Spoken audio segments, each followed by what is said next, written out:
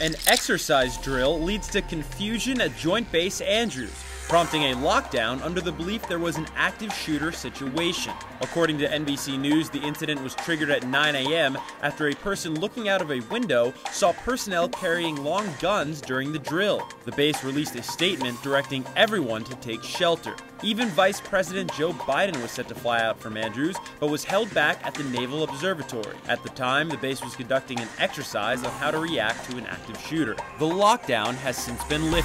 For Veuer. I'm Kevan Kenney.